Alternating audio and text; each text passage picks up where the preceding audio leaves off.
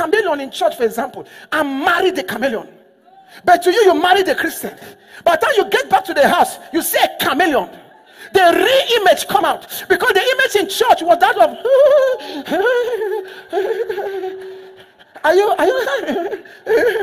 but but I tell you see the that is why if you're a man of God, you're a man of God on the pulpit, you're a man of God at home, you're a man of God in the market, man of God wherever you go. Are you understanding me? You will not say, you know, you know, it's in the, the church that we are preaching. Now we are at home. We have to be the I have to be the real me. There's no real you. The real you disappeared when Jesus entered you. Are you understanding me? We should see Jesus. We should not see you. You should you do you know salvation? Salvation means you have died. And Christ now lives in you. So you should not be a chameleon. You should be a Christian. These days is difficult to deal with so-called Christians. Sometimes it's fearful when somebody comes to an house and say, I'm a pastor. This you just have to develop some and just move away. No, no, no, Pastor, what? A pastor beat me last night. He, gave, he, he told a lie that damaged my destiny. So when I see Pastor again, I don't, that is not how it's supposed to be. Are we Christians or are chameleons?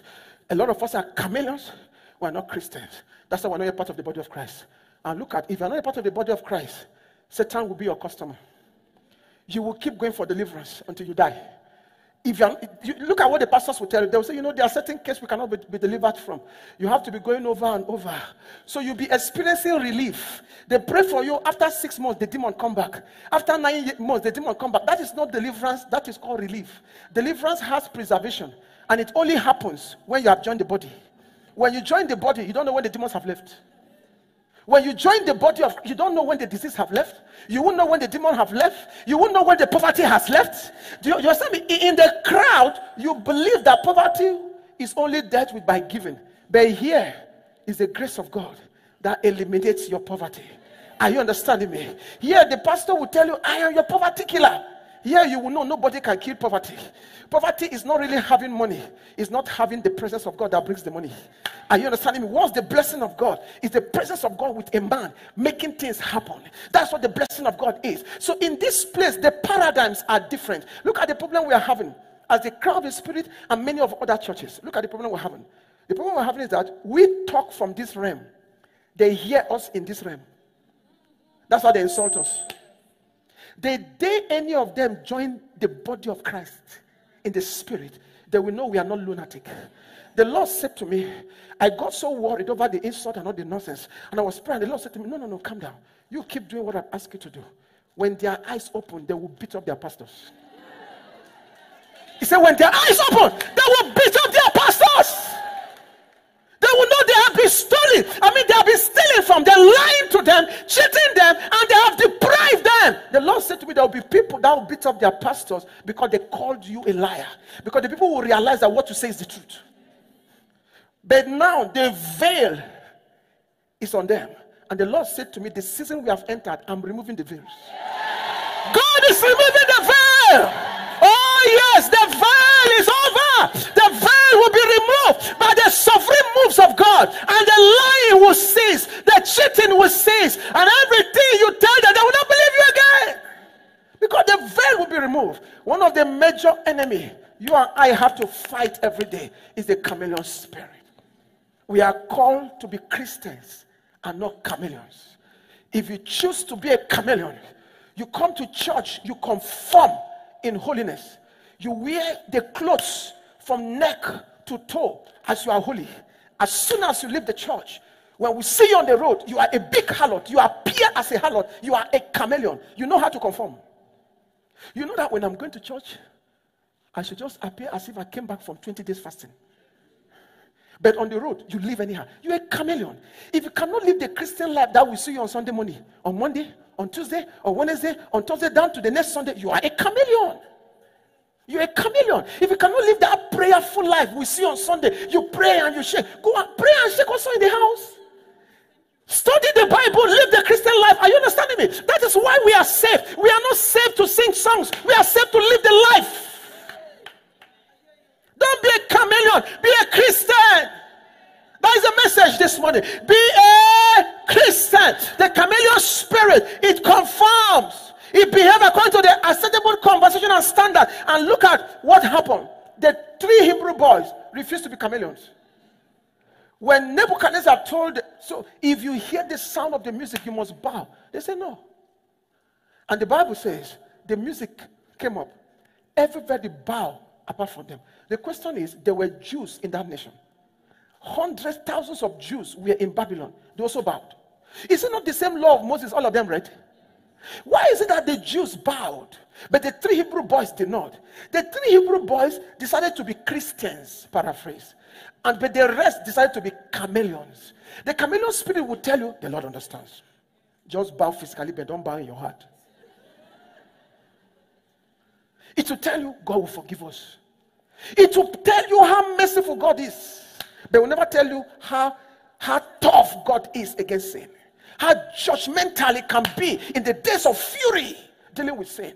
But it gives you all the reason to conform to the system of this world. When you're under pressure, you forget you're a Christian. When you are in need, you forget you're a Christian. When you are elected to a position in government, you forget you're a Christian. You now see the place as a territory of stealing and accommodating everything. I said to myself one day, if all the politicians on earth who call themselves Christians were not chameleon, there would be no corruption in nations. Are you understanding me? Because if you check, even the presidents in the world, majority of them are born again. I mean, something just happened in the US yesterday. They just elected their new speaker, and you look at them, the conservative, which are the born again, stood so tough, trying to demand some things before they, they voted for him. It, it, went about 15 rounds, and the guy finally went. Well, I know, I, I follow them, and I know who they are, some of them. And I said to myself, if these guys who, who now are speakers of the US Assembly, if they can stand as Christians and not be chameleons, they will do away with the nonsense with the stronghold of corruption that is being built in that place. Are you understanding me? If everybody who calls himself a Christian is a Christian indeed, there will be no corruption in our nations. But many of us are chameleons. We are chameleons. We are being confused.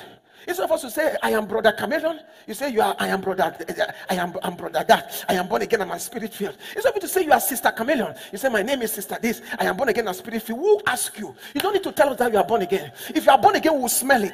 We'll smell in your character. We see your conduct. Only a chameleon talk that nonsense because it wants to conform. If when a chameleon meet those who are born again, buana as if you were. When he meet those who are not born again, it, it buana other things. You get my point. It, it, it, it, just depends on the environment. Are you understanding me? But the days of the chameleon spirits are over.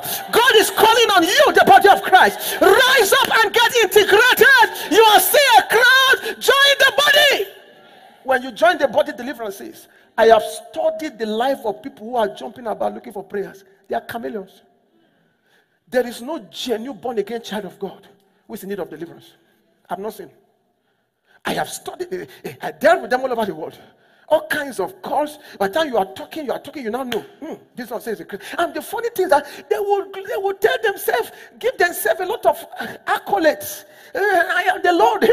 Shut up! Where is the fruit? If you know the Lord, look at what I showed you here. The revelation of Jesus brings rest to you.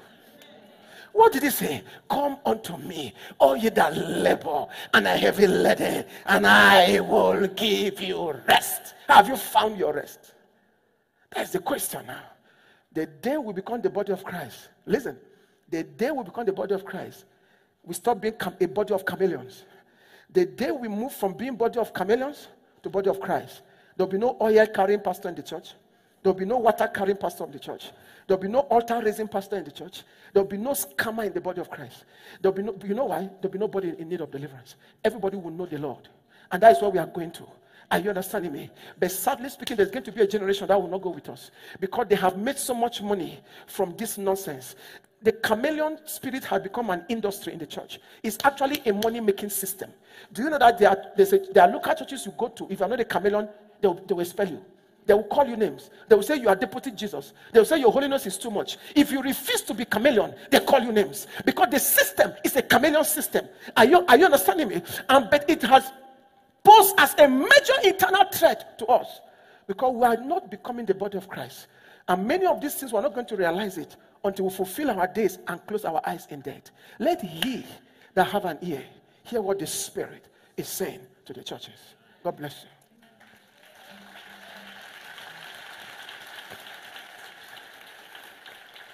I want to conclude. How do I position myself as a Christian?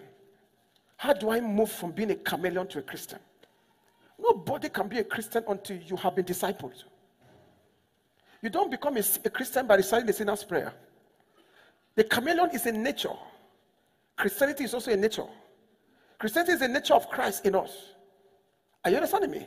The chameleon spirit is just that nature. You try to conform and all of that stuff. Look at what the Bible says in the book of Romans. We close on that score. Romans chapter 12. How do I move from becoming a chameleon to a Christian? Because that is the key to becoming part of the body of Christ on earth. You can be part of a, a church group, but you're not part of the body. Romans chapter 12, verse 1. We're going to close shortly. I beseech you, therefore, brethren. Are you there? Can we be on our feet and read that scripture, please? I beseech you, therefore, brethren, by the mercies of God, that you do what? Present your bodies as a living sacrifice. So, raising altar of sacrifice. Present your body holy, acceptable to God, which is your reasonable service. Whenever a pastor asks you to raise an altar, say, Shut up! Huh? Are you not respecting man of God? Man of God will not lie to me. Shut up your mouth. Teach me how to present my body as a living sacrifice to God, not how to give you sacrifice. Scammers. Look at verse 2. He said, And do not be conformed to this world. Do you see it? But be what? Transformed by the renewing of your mind that you may prove what is that good and acceptable and perfect will of God. A child of God must be a radical opposition to corruption, a radical opposition to sin, a radical opposition to iniquity and trespasses. A child of God must not conform to this world. Rather, we are to transform the world to conform to Christ. Are you understanding me? How do I move from being a chameleon to a Christian? Expose your spirit nature to Jesus to transform you. That is all. Find a church that can help you expose your spirit nature to Jesus to transform you. Let me pray for you. Oh, to Jesus I surrender. all to Him I freely give. I will ever never love and trust in His presence. His presence. I surrender. I surrender. Oh, I surrender.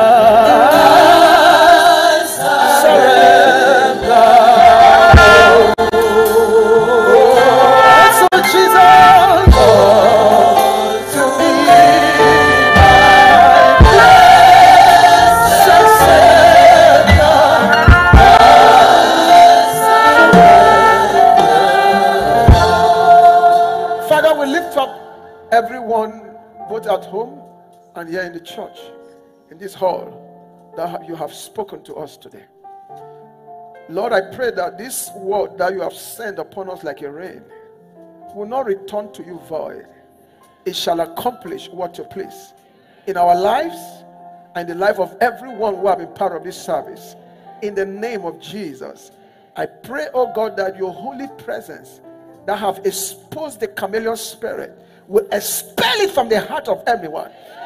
In the name of Jesus Christ, I pray that let this word keep ringing in our spirit until we all get integrated into your body. In the name of Jesus, let the days of chameleon Christianity be over. We declare them over in the name of Jesus. We declare them over in the name of Jesus. Thank you, Father, for your faithfulness. Blessed be your holy.